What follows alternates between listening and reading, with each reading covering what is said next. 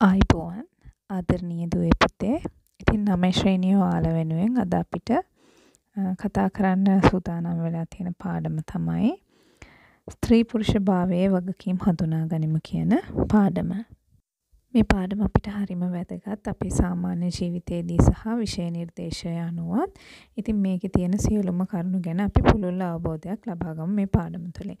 ඉතින් මුලින්ම අපි බලමු සාමාන්‍යයෙන් මේ පාඩමේ මොනවාද අපි සාකච්ඡා කරන්න බලාපොරොත්තු වෙන්නේ කියලා. එතකොට අපි ලෝකයට දරුවෙක් බිහි වුණාම පුතේ අපි දන්නවා ඒ දරුවා ගැහැණු හරි පිරිමි කියලා හඳුනාගන්නේ ලිංගේන්ද්‍රයේ තියෙන වෙනස්කම මත. ස්ත්‍රී සහ පුරුෂ වශයෙන් වෙන් වෙන්නේ ලිංගේන්ද්‍රය මගින් තියෙන වෙනස අනුව. එතකොට ලිංගේන්ද්‍රය නිර්මාණය වෙන්නේ මව පියා කියන දෙපාර්ශවයෙන් උරුම වෙන ජාන හා හෝමෝන ක්‍රියාකාරීත්වය අනුව.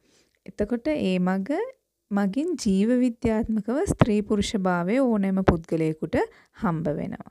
එතකොට බිලිඳා වැඩිමත් එක්කම දරුවා හදා වඩා ගන්න පරිසරය අනුව දෙආකාරයක හැසිරීම් රටා වගකීම් ස්ත්‍රී පුරුෂ දෙපාර්ශවයට පැවරෙනවා. ඒක සංස්කෘතියත් එක්ක සමාජය තුළ ගොඩනැගිලා තියෙන කාරණාවක්. ඒ වගේම සමාජීය වශයෙන් සම්මත පරිදි ස්ත්‍රී සහ පුරුෂයන්ට පැවරෙන වගකීම් කාර්යයන් භූමිකාව කියන කාරණා වෙනස් වෙනවා. ඒක තමයි අපි හඳුන්වන්නේ ස්ත්‍රී පුරුෂ සමාජභාවය. ඒ කියන්නේ සමාජීය වශයෙන් සම්මත පරිදි ස්ත්‍රී පුරුෂයන්ට පැවරෙන වගකීම් කාර්යයන් භූමිකා යනාදී සියල්ල ස්ත්‍රී පුරුෂ සමාජභාවය ලෙස අපි හඳුන්වනවා.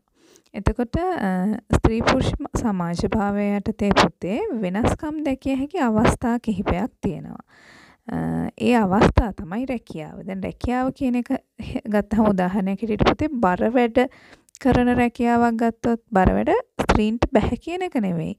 නමුත් සාමාන්‍යයෙන් බර වැඩ කරන කියන රැකියාවේ නියුතු වෙලා ඉන්නේ පිරිමි පාර්ශවයේ වැඩි වශයෙන්. ඒ වගේ ස්ත්‍රී පුරුෂ සමාජභාවය අනුව වෙනස්කම් දැකිය හැකි විවිධ සාධක තියෙනවා. එකක් තමයි රැකියාව කියලා කියන්නේ. අනිත් එක හැසිරීම් රටා. හැසිරීම් රටාව ගැහණු පිරිමි දෙපාර්ශවයටම සමාන වෙන්නේ නැහැ. ඒක ආකාර දෙකක්. ඊට පස්සේ ගැහණු පිරිමි දෙපාර්ශවයටම සමාජය හා පවුල තුල හිමිවන ස්ථානය.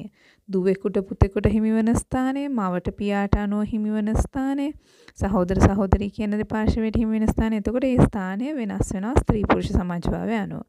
ඊට පස්සේ ගැහණු හා පිරිමි දෙපාර්ශවය ගත්තහම පවුල තුළ වගකීම්. දැන් ඈත ඉස්සර අතීතයේ නම් අපි දන්නවා වැඩිපුරම පිරිමි පුද්ගලයා තමයි ආදායම උපයන්නේ. දැන් වර්තමානයේදී ඒවා වෙනස් වෙලා තියෙනවා.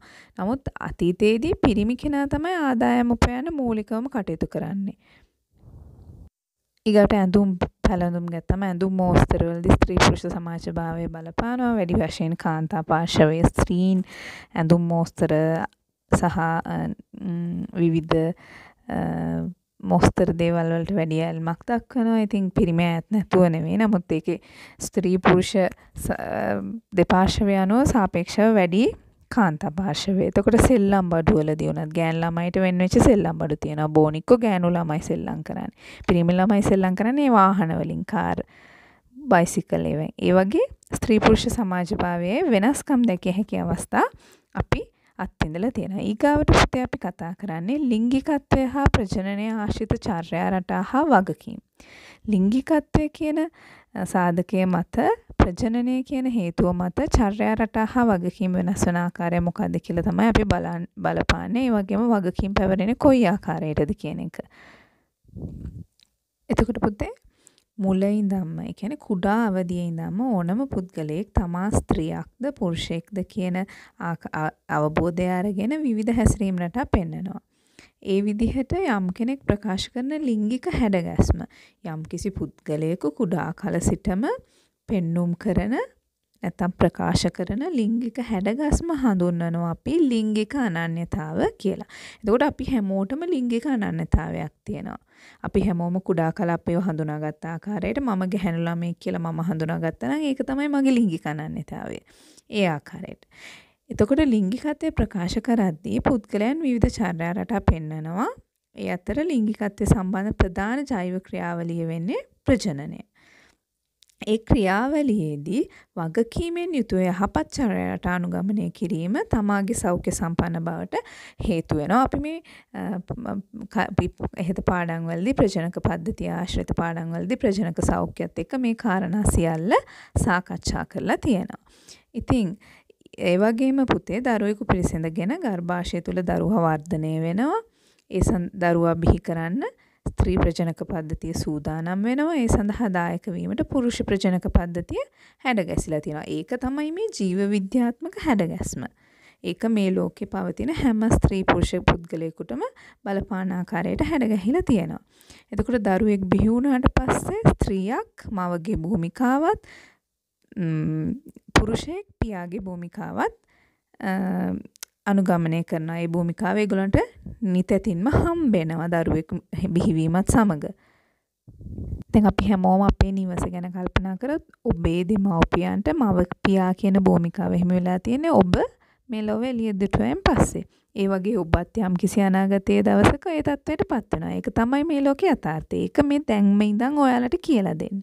එතකොට පුතේ සාමාන්‍යයෙන් අවුරුදු 20 පසු වෙනකන් 20ට පෙර ස්ත්‍රී ප්‍රජනක පද්ධතිය දරුවට නිස්පෝෂණය ලබා දී දරුවෙකු බිහි කිරීමට තරම් කායික වර්ධනයක් දක්වන්නේ නැහැ. අපි ඔයාලට මතක නම් ওই කාරණාවත් ඔයට කලින් පාඩම් වලදී ඉගෙනගෙන තියෙනවා. ඒකට හේතුව නවයෝනුවේ ඉන්න ගැහැණු දරුවෙකුගේ ප්‍රජනක පද්ධතිය වර්ධන අවස්ථාවේ තියෙන්නේ. එතකොට ඒ ඒ වගේ අවස්ථාවකදී දරුවෙකුට තවත් දරුවෙක් බිහි කිරීමට අවශ්‍ය වටපිටාව ප්‍රජනක පද්ධතිය තුළ ගර්භාෂය තුළ නිර්මාණය වෙන්නේ නැහැ. ඒ නිසා නිරන්තරව මේ කරුණු පිළිබඳ අවබෝධයෙන් සිටීම තමාගේ සෞඛ්‍යයට මෙන්ම සමාජීය වටපිටාව සකසා ගැනීමටත් ඉතා හොඳ කරුණක් වෙනවා. ඒකයි මේවා ගැන දැනටම ඔයාලට අවබෝධය ලබා දෙන්නේ. නිසා මේවා හොඳින් අධ්‍යයනය කරන්න ඕන ස්ත්‍රී පුරුෂ දෙපාර්ශවයම. ගැහැණු පිරිමි කියන දෙපාර්ශවයටම මේක එක ආකාරයෙන්ම වැදගත් වෙනවා. එතකොට පුතේ ඊගාවට අපි නවයෝන් වී පසුවෙන ගැහැණු පිරිමි දෙපාර්ශවයම වගකීමක් සහිත තන තුරු වන මාතෘත්වය හා ප්‍රීතෘත්වය දැරීමට මානසිකව සූදානමක් දක්වන්නේ නැහැ නවයෝන් වී අය.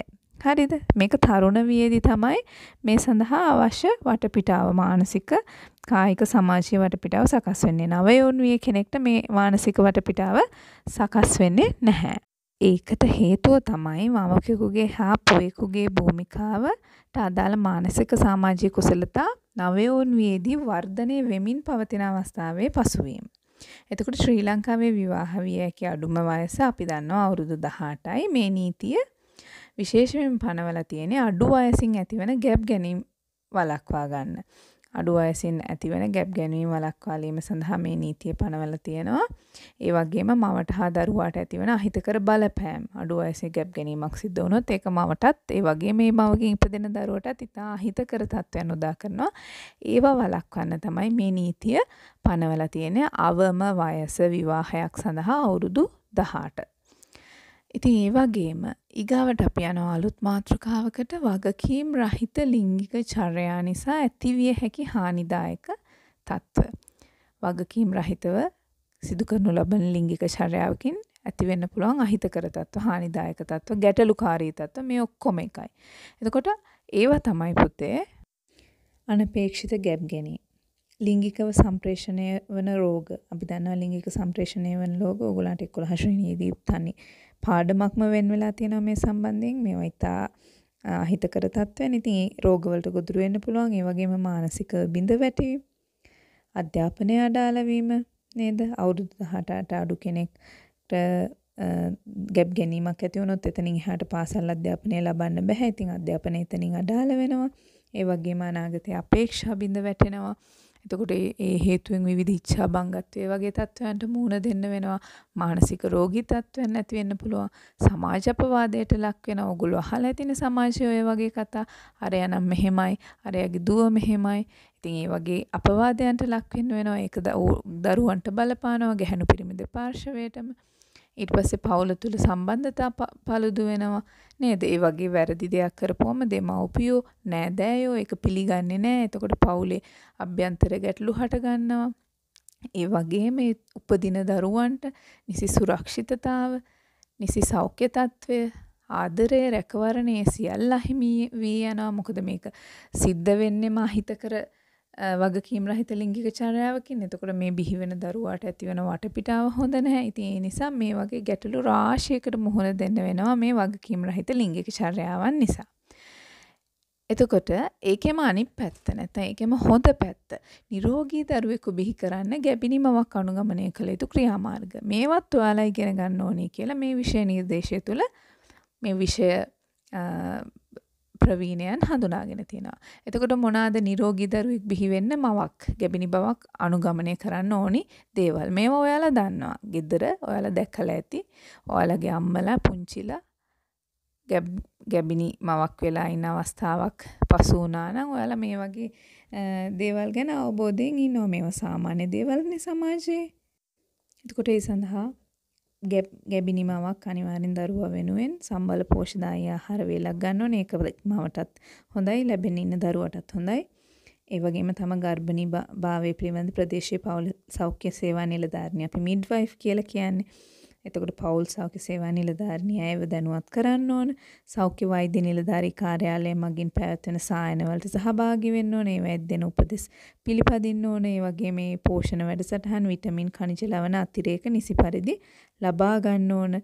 ඒ වගේම අවශ්‍ය විවිධ පරීක්ෂණ තියෙනවා. ඒ ගර්භිණී භාවය ගත කරන මාස 10 පුරාවටම එක එක් පරීක්ෂණ වලට යොමු වෙන්න ඕන එක එක එන්නත් ගන්න ඕන එක එක පෝෂණ අතිරේක කැල්සියම් යකඩ වගේ අවශ්‍ය බාහිරින් ලබා ගන්න විවිධ පෝෂණ අතිරේකත් ලබා ගන්න ඕනේ. ඒ විදිහට අවශ්‍ය සියලුම වෛද්‍ය උපදෙස් පිළිපදිමින් අවශ්‍ය රැකවරණය තම කුස තුළ වැඩෙන දරුවට වගේම මවක් හැටියට ඒ ගැබිනි මවත් රැකෙන ආකාරයට කටයුතු කරන්න ඕන. මෙන්න මේ කියන ක්‍රියාමාර්ග අනුගමනය කිරීම තුළින්. ඉතින් මේ ක්‍රියාමාර්ග ඔබට මතක තියාගන්න පහසුයි. මේවා මතක තියා ගැනීම ඔබේ ජීවිතයටත් වැදගත් වෙනවා. විෂය තුලත් වැදගත් වෙනවා. මොකද විභාගයටත් ප්‍රශ්නයක් එන්න පුළුවන් මේ වගේ දෙයකින්. මීට අමතරව දෛනික ක්‍රියාකාරකම් හා ව්‍යායාමවලදීම මානසික ප්‍රබෝධය පවත්වාගෙන යන්න ආගමික කටයුතු සෞන්දර්යාත්මක ක්‍රියාකාරකම් වගේ දේවල් වල නිරත වීම. ඒ වගේම අවශ්‍ය නිවැරදි කාලය එළඹී වුණාම ඒ කියන්නේ අවශ්‍ය මාස ගණන සම්පූර්ණ වූ පසු ප්‍රසූතිය සඳහා රෝහලක් තෝරාගෙන එහි ලියාපදිංචි වීම අනෙක් දරුවන් හා පවුලේ සමාජිකයන්ගේ යුතුයකම් ඉටු කිරීම තුම්පානයෙන් මත්පැන් හා මත්ද්‍රව්‍ය වලින් වැළකීම වගේ කාරණාත් වැදගත් වෙනවා. ඊගාවට අපි කතා කරන්න පුතේ ගැබිනි බිරිඳකට සැමියාගෙන් ඉටුවිය යුතු යුතුයකම් හා වගකීම් මොනවාද කියලා. ඕගොල්ලෝ ඔයාලගේ නිවෙස්වල උනත් දැකලා ඇති. පියෙක් හැටියට සැමියාගෙන් ඉටු වෙන්න ඕන මොනවාද යුතුයකම් ගැබිනි බිරිඳකට කියන එක. එතකොට බිරිඳට ආදරය සෙනෙහස ආරක්ෂාව ලබා දීම, ඒ වගේම ආහාර පාන ආදී පහසුකම් සලසා දීම, ගැබිනිමාවක්කට සුදුසු ලෙස නිවසහා පරිසරය සකස් කර දීම වෛද්‍ය සායන සඳහා බිරිඳ සමග සහභාගී වීම ඒක අනිවාර්ය වෙනවා. මේ මේ සායනවලදී සායනවලදී අහනවා කෝ දරුවගේ පියා කියන එක. එතකොට බිරිඳ සමග මානසික සුවතාවයට හේතු වන කටයුතු වලට සහභාගී වීම දුම්පානය මත්පැන් හා මත්ද්‍රව්‍ය වලින් සැමියා ඒ වගේ කටයුතු වලට සම්බන්ධ වෙන එකෙන් වැළකීලා ඉන්න එක. ඒ වගේම අනෙකුත් දරුවේ පවුලේ මීට පෙර දරුවන් ඉන්නවා නම් ඒ දරුවන්ගේ කටයුතු සඳහා බිරිඳට සහයෝගය දැක්වීම ඒ මෙන්න මේ කියන යුතුයකම් හා වගකීම් සැමියා විසින් ඉෂ්ට කරන්න ඕන යුතුයකම් සහ වගකීම් හැටියට අපිට හඳුනා ගන්න පුළුවන්. එතකොට මේ විදිහට ඉපදෙන දරුවෙක් සම්බන්ධයෙන් දෙමාපියන්ට ඇති වගකීම් බැලුවොත් පුතේ ප්‍රමාණවත් පෝෂණයක් ලබා දීම දරුවා ප්‍රමාණවත් පරිදි නිවැරදි පෝෂණයකින් සම්පූර්ණ කිරීම දෙමාපියන්ගේ වගකීමක්. ඒ වගේම දරුවන්ට නිසි අධ්‍යාපනය ලබා දීම, දරුවන් අධ්‍යාපන කටයුතු සඳහා දිරිමත් කිරීම, ආදරය සහ සුරක්ෂිතතාව ලබා දීම, තම ආරක්ෂාව සලසා ගැනීමට අවශ්‍ය කුසලතා ලබා දීම, ඒ වගේම ශාරීරිකව, මානසිකව සහ ආධ්‍යාත්මික වශයෙන් එම අංශ සංවර්ධනය කරන්න අවස්ථා සලසලා දෙන එකත් දෙමව්පියන්ගේ යුතුයකමක්.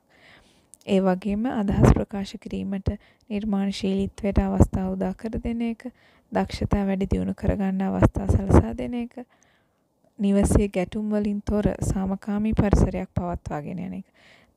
යම්කිසි නිවසක මව හා පියා නැත්නම් දෙමාපියන් ගැටුම්කාරී තත්වයන් ඇති කර ගන්නවා නම් ඒක දරුවන්ට හොඳ දෙයක් නෙවෙයි. දරුවාගේ මානසික සංවර්ධනයට ඒක හොඳ දෙයක් නෙවෙයි. නිසා දෙමව්පියන්ට වගකීමක් තියෙනවා නිවස අභ්‍යන්තරයේ ගැටුම් වලින් තොර සාමකාමී පරිසරයක් පවත්වාගෙන යාමට දරුවා හොඳින් සෞඛ්‍යාරක්ෂිතව වර්ධනය වෙන්න ඕනේ නම්. ඉතින් මෙන්න මේ කාරණා සම්බන්ධයෙන් ඔයගොල්ලෝ අවබෝධය යොමු කරන්න ඕනේ. දරුවන් සම්බන්ධයෙන් දෙමාපියන්ට ඇති වගකීම් කියන මාතෘකාව යටතේ සාකච්ඡා කරද්දී.